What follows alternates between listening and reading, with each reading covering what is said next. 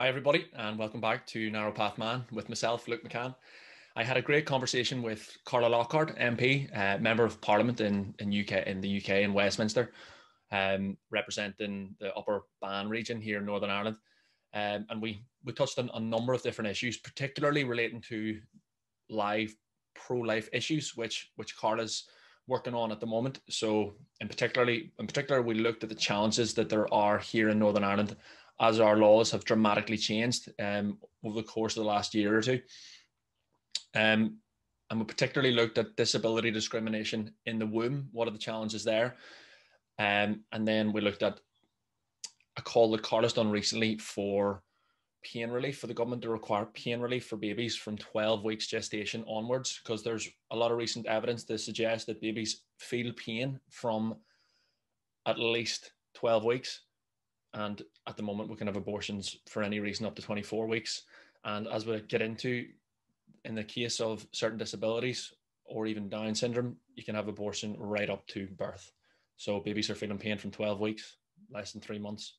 Yet six months later, you can still end their lives. So different sort of sensitive discussions, but important discussions that need to be had that we we got into there.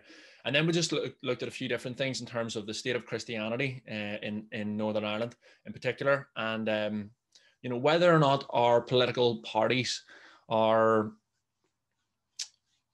are ever going to be able to prioritize the most important issues in the right way without focusing too much on, on political issues and you know not necessarily putting the correct amount of manpower and resources into these incredibly important issues and then lastly, we just touched on the role of media, whether they're a help or a hindrance in terms of actually benefiting political parties and different issues and movements, or whether there's just too much bias there and different agendas and things like this. So, hope you enjoy the show. If you get value from it, I would encourage you to share and, of course, subscribe and make sure you click the um, the bell button and hit all for all notifications so you don't miss any new videos. Anyway, yeah, enjoy the show. Alrighty, so today I have the pleasure of being joined by Carla Lockhart, MP, Member of Parliament for Upper Bann here in Northern Ireland, stroke North of Ireland, stroke Belfast and the surrounding fields, as I like to refer to it.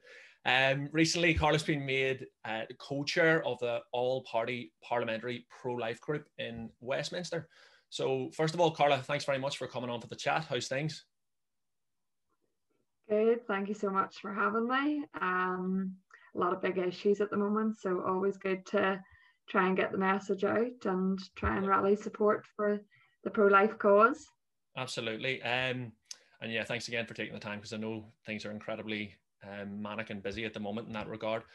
So I suppose just in terms of the all party parliamentary pro-life group in, in Westminster, which you've just been made co-chair of, um, do you want to just tell us a bit about what your what your goals are with that group, and just let us know a bit about the composition? Like, who is it that joins you in that group? Is it members of all different parties throughout the UK, or what's it look like?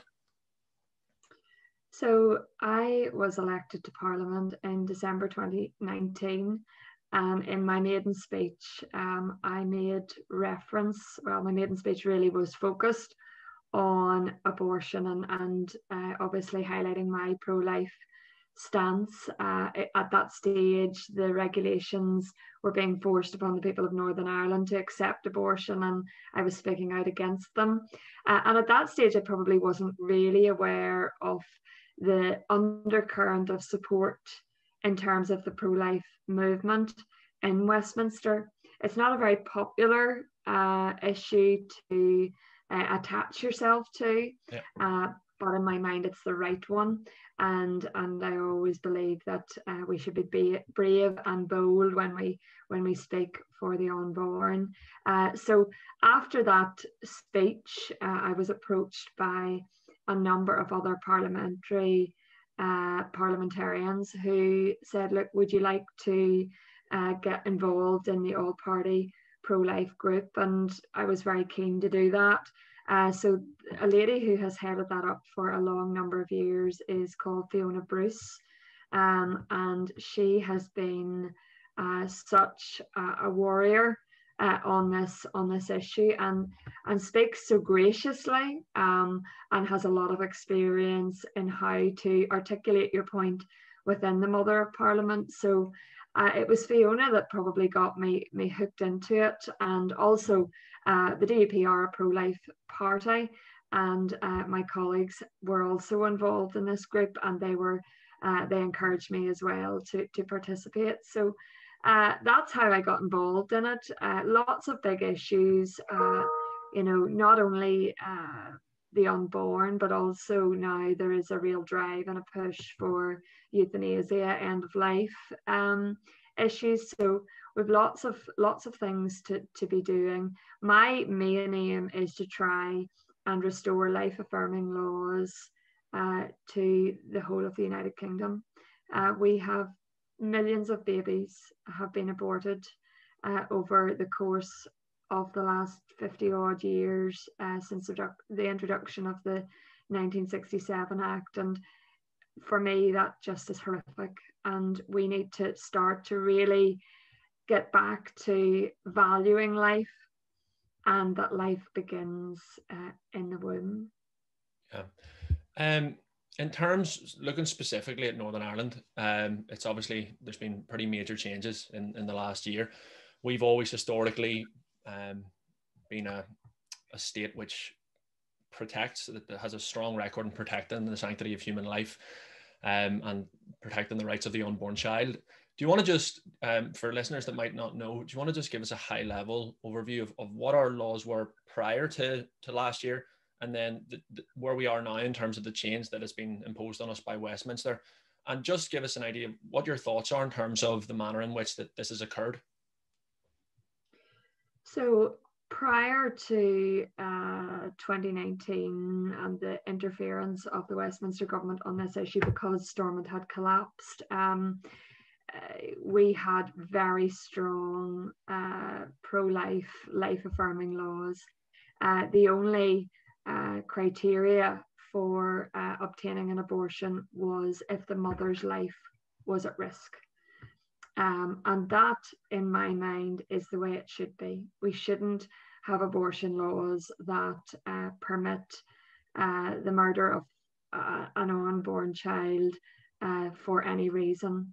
Unfortunately, there were a cohort of MPs uh, in Westminster who forced the government to uh, interfere in Northern Ireland's laws because there was no functioning executive and as a result, we have the most uh, draconian abortion laws in the whole of the United Kingdom and indeed all of Europe. So now our abortion laws, as a result of Westminster's interference in what is a devolved issue, um, and by devolved issue, I mean the responsibility of our devolved administration, the Northern Ireland Executive.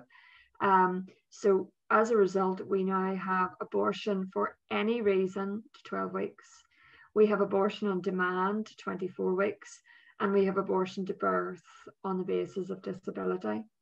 Now, if you look at the 67 Act versus what we have now, um, we actually ha- have more uh, invasive uh, abortion laws, and we have laws that really allow for abortion for any reason uh, to 24 weeks which is, in my mind, wrong. Um, it should not be the case, and therefore, my aim is to try and halt uh, the Westminster government interfering again in terms of the commissioning of these services, and obviously to try and ensure that our Northern Ireland Assembly uh, try to return to the laws that we previously had. So, what we will be calling for and have called for is a repealing of Section 9 uh, of, the, of the Act that introduced these abortion regulations. So that is our aim. Um, now, do I think uh, we will get there uh, quickly? Um, that's debatable, and, and I think it will take a long period of time to get back to where we were. Yeah. Um, I suppose you touched on on two issues there um, that we can look at now in terms of the disability discrimination that there is here, and then also just the the call that you've made for for pain relief from from 12 weeks um gestation. But firstly just well, suppose first of all um today's the 23rd of march. Two days ago sunday was world down syndrome day um i have here i got something from live action i just saw on their instagram said did you know of the babies diagnosed with Down syndrome, 100% are aborted in Iceland, 98% are aborted in Denmark, 67% are aborted in the US. Um, let's see.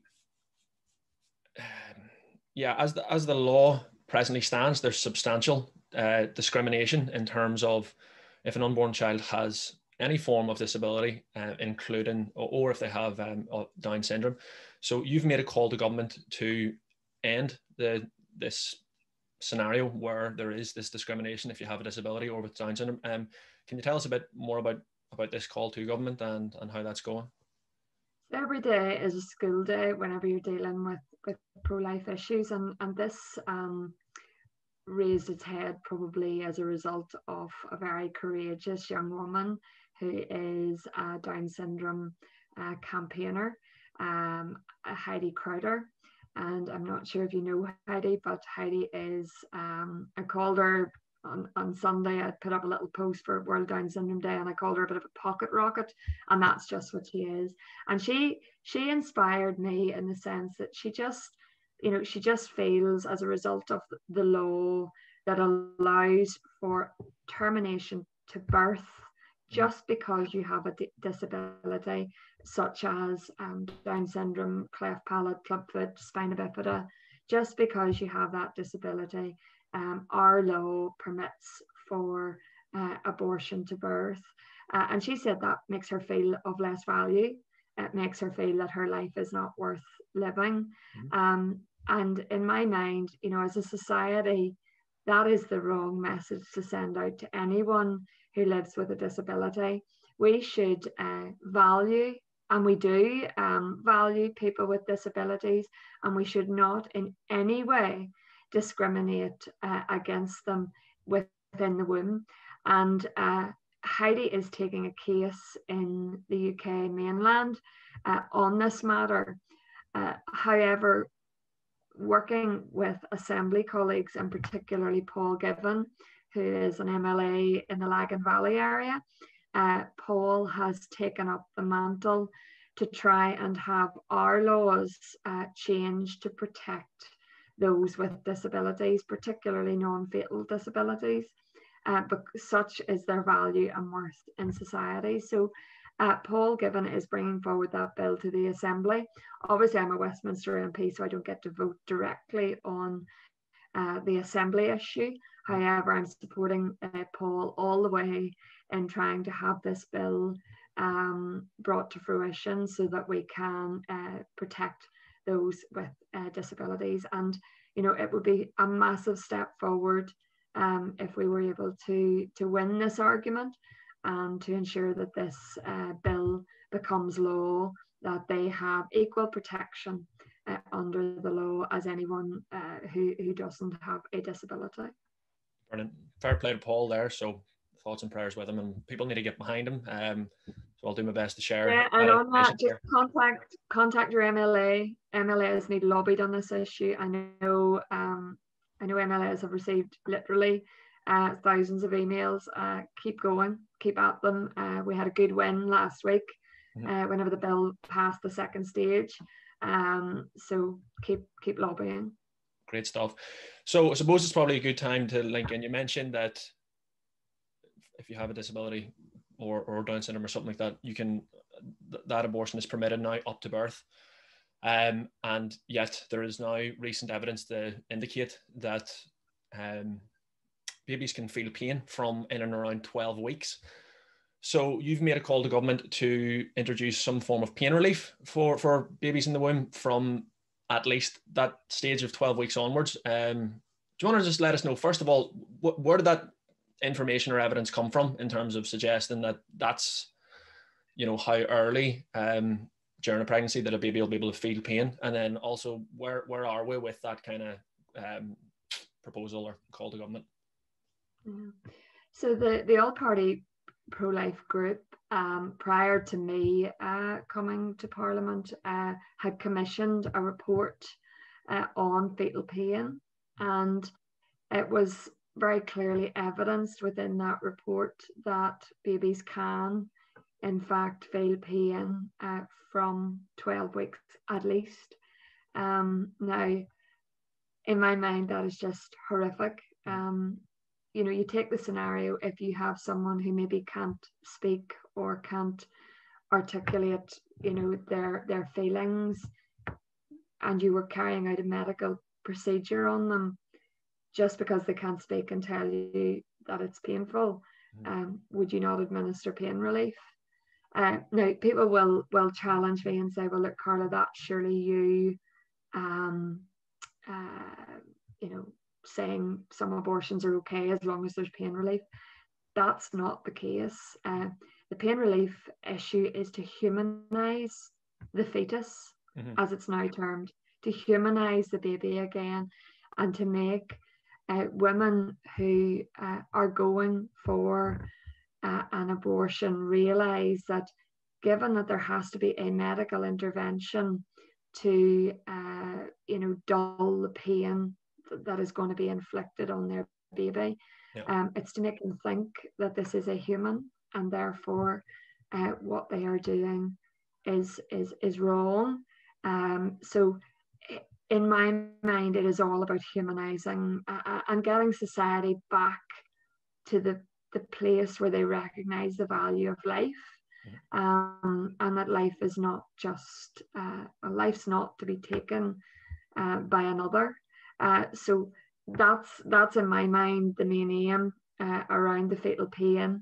and you know so many pro-abortion lobbyists use science and use you know their science their supposed scientific evidence in our pro-life movement, we maybe haven't used the science uh, to our benefit. So it's now starting to do that. And, you know, I, I say this often, you only have to look at, you know, dogs and donkeys and cats and whales, and they have more protection. If you are going uh, to, you know, have a dog's babies aborted um, or pups aborted, um, they they're afforded pain relief Yeah.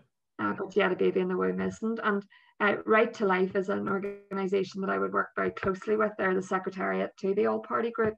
They have a video, which is a very powerful video, um, and it shows a baby being aborted via uh, an injection. And at 18 weeks, you can see it wincing in the womb. Mm-hmm. And, you know, that in my mind is, is something that shouldn't happen. Um, and look, I'm I'm a realist. You know, abortions aren't going to stop tomorrow. Uh, therefore, no baby, no baby should be inflicted uh, with pain. Uh, so that's that's the aim of the the fetal pain. Yeah, I uh, think, I think that's a great approach in terms of um,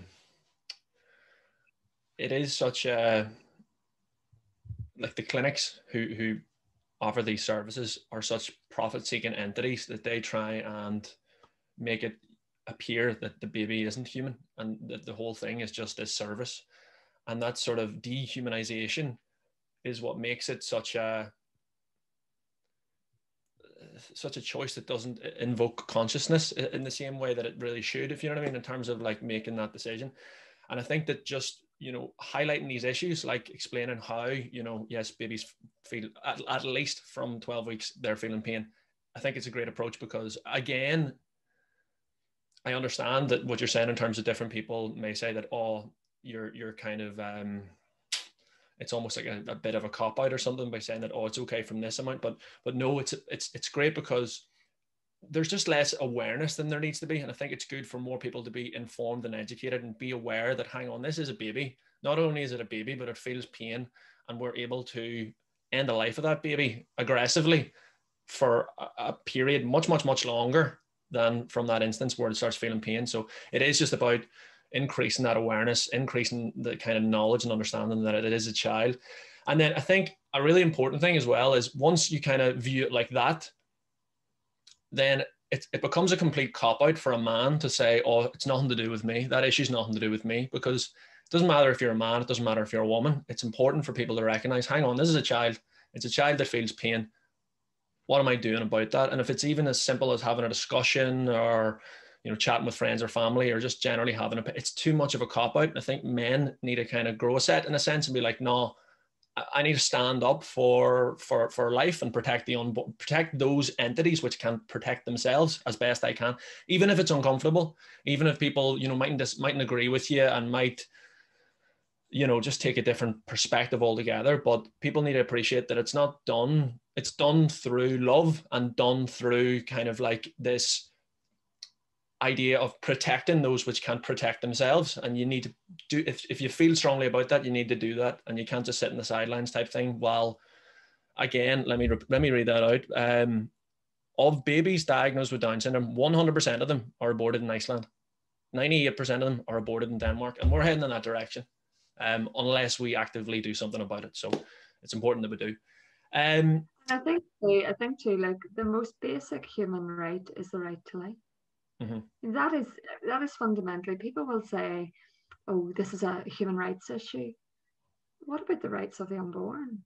You know, there are two people in mm. in, in every scenario, and look, you know, I don't I don't shirk away from the fact that the services that are available for women who find themselves in a crisis pregnancy or in a pregnancy where um, you know there has been uh, issues uh, the services are not there for them. Um, and and therefore you know we need uh, we need as a people to rise up and actually support um, support those who find themselves in this scenario. And and it's the same for government.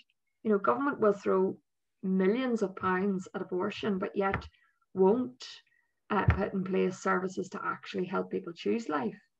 So you know there is a challenge there for us and there's a challenge um, I always say for the church as well um, to rise up.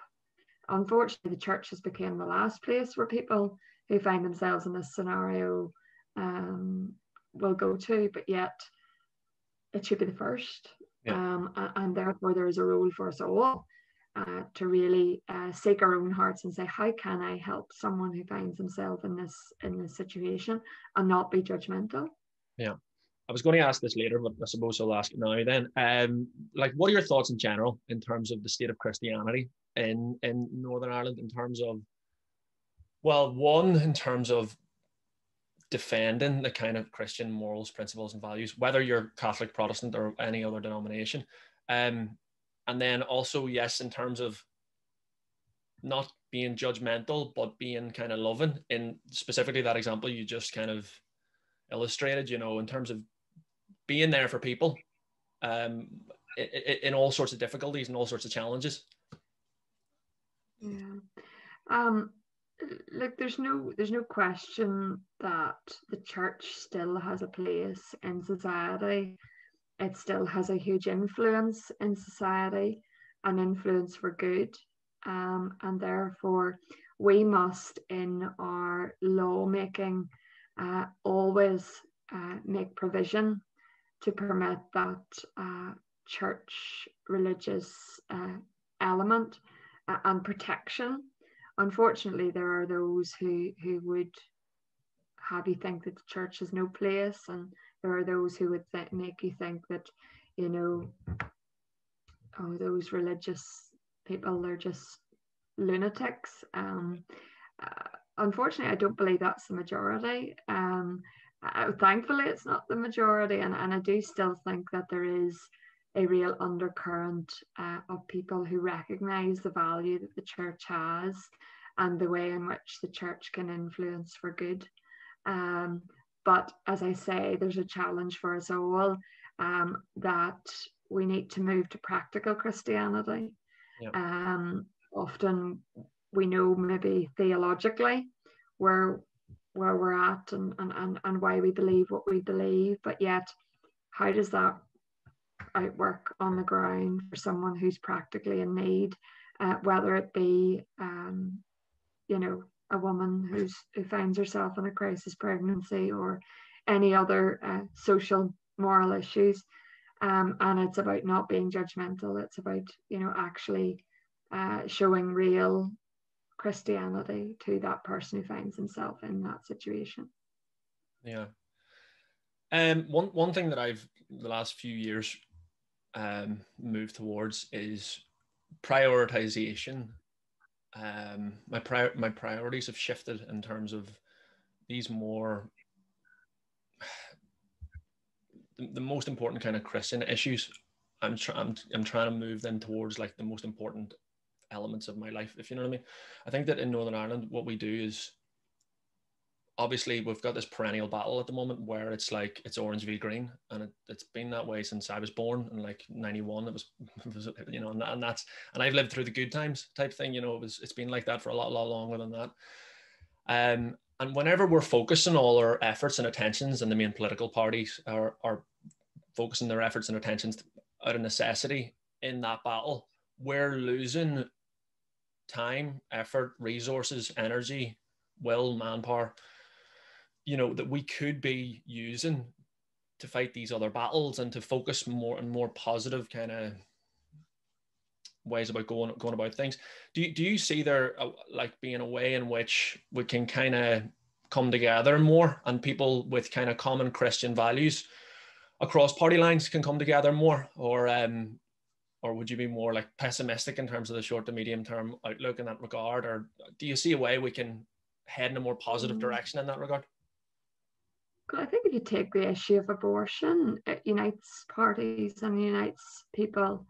Um, I always give the example of um, just a couple of years ago, before I was elected as MP, before I even, you know, thought that that would ever be my calling in life. Um, I travelled to Westminster to highlight um, the, the highlight the fact that you know not no, all Northern Ireland women wanted abortion services provided uh, by Westminster. It was 2018, and I travelled across with literally people from all shades. And uh, the one that, that sticks out in my mind is Anne Brolly. And Anne Brolly was um, a Sinn Féin, I think she was an MLA at a time. She was definitely a councillor. Francie Brolly was her husband. Um, he was um, an MLA for Sinn Féin as well. Anne and I unite on this issue um, because she values the unborn and she believes firmly that um, you know the unborn has the right to life and you know in my mind that this transcends all political um, ideology. Um, and do I think do I think we'll ever get to the point where we'll unite on everything and you know uh, it'll all be peace and love? And mm-hmm. uh, probably not.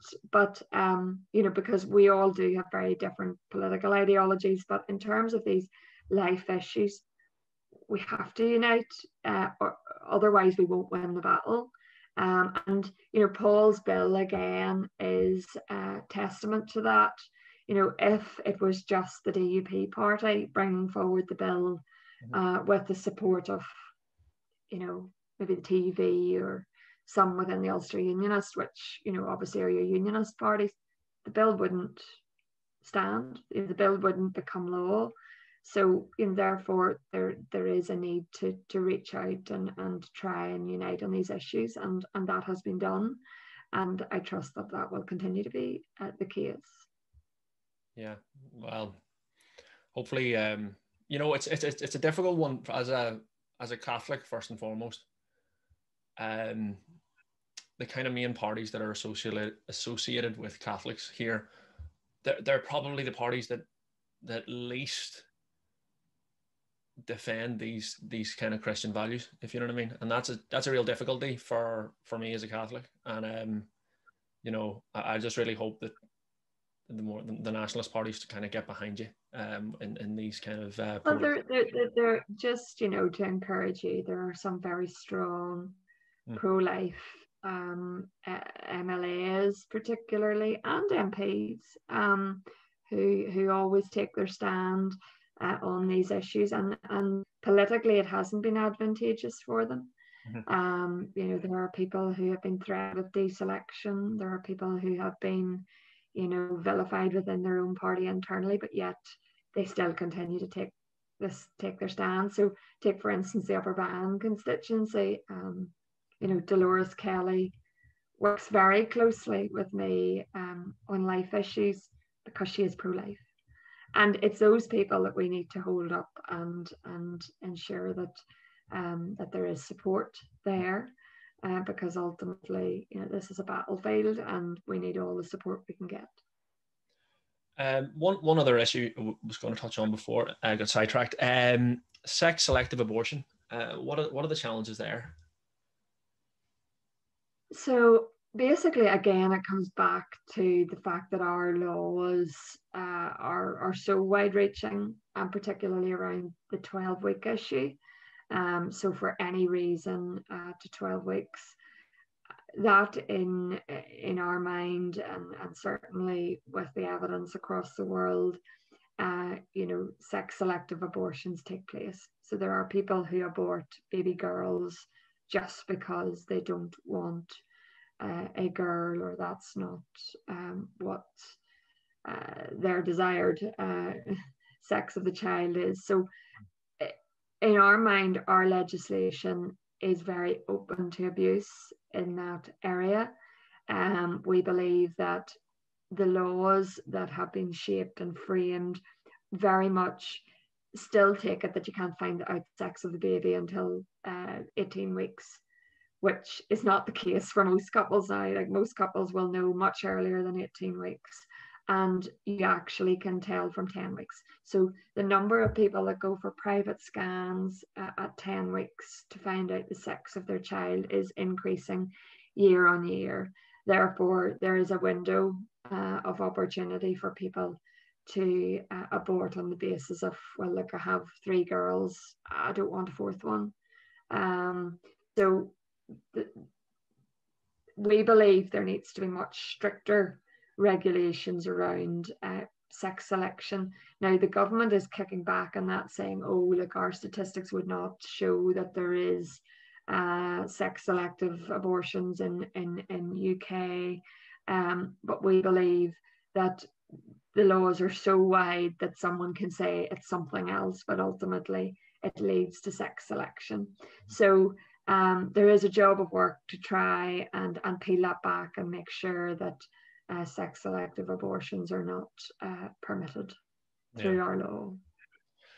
Um, so, last thing, really, um, in terms of the media, you and in terms of building awareness and issues like this, you know, you're if you're typically just getting all your information from the news or from listening to local radio shows and things like this, most people wouldn't be aware of these things. They wouldn't be aware that there's evidence to suggest that babies are feeling pain from 12 weeks they wouldn't be aware of the discrimination that those which with disabilities, including Down syndrome, are facing. Um, so one, like in terms of our local media, there isn't much of an opportunity for you to have these discussions. You know, you might be invited onto a radio show to, to, to discuss one specific part of one issue, and it may be skewed in a way that kind of doesn't allow you to kind of have free reign and discussing and, and letting people know about all the issues. And you have to do your best in that little pocket of, of time to kind of get your main points across. Um, so one thing that I'm looking to do with this channel anyway, in a very modest way, is is try and fill the gap in terms of just sort of true conversations there effectively. Um, so what are your thoughts in terms of the state of our media and like because just the way I see it is there's there's a lot of bias, there's a lot of sort of agendas pushed, and there's just less, especially now, you know, we don't have as many political talk shows and debates where people can freely discuss things. And you're also getting into the freedom of speech kind of element there. But um yeah, what are your thoughts on the media in general's role in all this? Yeah, it's hugely frustrating, hugely frustrating for those of us who uh, hold dear to these values, but yet um, you know, getting airtime, getting um, getting a presenter that actually is sympathetic or is willing to to listen to you know your point of view can be very very difficult. And um and also you know i think i think traditionally there haven't been people maybe willing to put their head above the parapet on these issues because they just feel they're going to get it taken off um by the media. But I think that's where potentially I have a role. Um, you know, the fact that I'm youngish, getting old, but um, uh, you know, the fact that I'm youngish and you know have a small child myself, um, makes it much more appealing for a, a media uh, presenter to come to me and ask me for my opinion. Um, so I think it's just getting people to take that take that stand and put themselves out there, uh, safe in the knowledge that they have an army of people behind them uh, who are supporting them. Because that narrative now out there is that you know sometimes the minority's view is actually the majority. Um, but it's not the case. Like I, I have been overwhelmed with the support that I have obtained, um, you know, as a result of the stand that I have taken uh, on this matter. So it is just starting to really encourage people to, to take a stand and actually getting young people engaged. And that can sometimes be the hardest. Um, you know, yeah, you, you, you just need to try and engage young people and, and, and bring them onto the, the stage and actually let the media see that there are people who are willing to to speak out and speak up. Do you think getting more involved with the schools and things like that might be a, an approach, or is that something that's being tried at the moment? I don't even know. Yeah, like um, any medium at all, and even trying to get uh, people into the media who who share some of the views that that, that we hold um, you know, so inspiring young people to to take a career in in in, in the media. Um, yeah, it, it it is a challenge, and it's a challenge, you know, not just on on the abortion front, on on many fronts. Uh, trying to get uh, the, the the message out there. But look, there's lots of other uh, mediums. There's lots of other ways now of, of getting the message out there. Um, thankfully, you know, we do have free speech you know we are able to speak out and speak up. So therefore you know we've got to use any medium we can.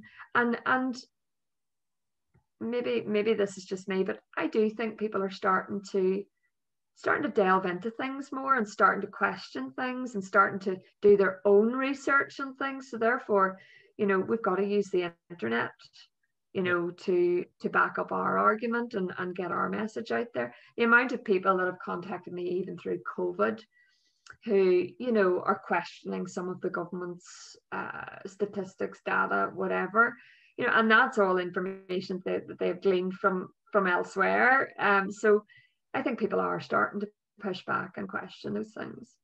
Yeah, and long may that continue. Yeah, it's like any form of technology. It's great whenever it's used well, but no, the internet is great for it. And even if you look at your, like, what do you have on Twitter? Something like eight or nine thousand followers. You know, it's it's again, it's another great vehicle for being able to kind of share various yeah. messages. You know, quickly. Um, and, and I do think like we're all inspired. We're all inspired by people. Um, you know, and if I can just inspire one other female to to speak out, um, that's you know that's been a that's been a win. So, you know, that onus is on us all. Hundred percent. To finish on a positive note, um, after a pretty sensitive discussion, uh, is there anything you're particularly excited about for the remainder of 2021? Oh, good question. Um, getting out and, and starting to get some normality back uh, to our lives, seeing my, my family more, uh, being able to go for a cup of coffee with them, just the simple things in life. And yeah, uh, yeah and uh, it would be remiss of me not to say 2021 is Northern Ireland's 100th anniversary. Um, so we've lots of things, we've lots of things planned. So looking I'd forward. Edit, to... I'd edit this bit out. yeah, so looking forward to a good year. Good stuff. Good stuff. All righty, so we'll leave it there. Carla Lockhart, MP for Upper Bann, thank you very much for taking the time today. And best of luck with all that's going on over the next few weeks and months.